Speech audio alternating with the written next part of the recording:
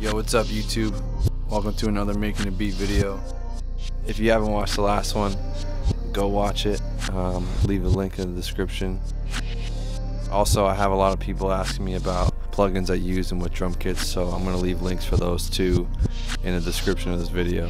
If you're new to this series and this channel, make sure you click subscribe so you never miss an upload.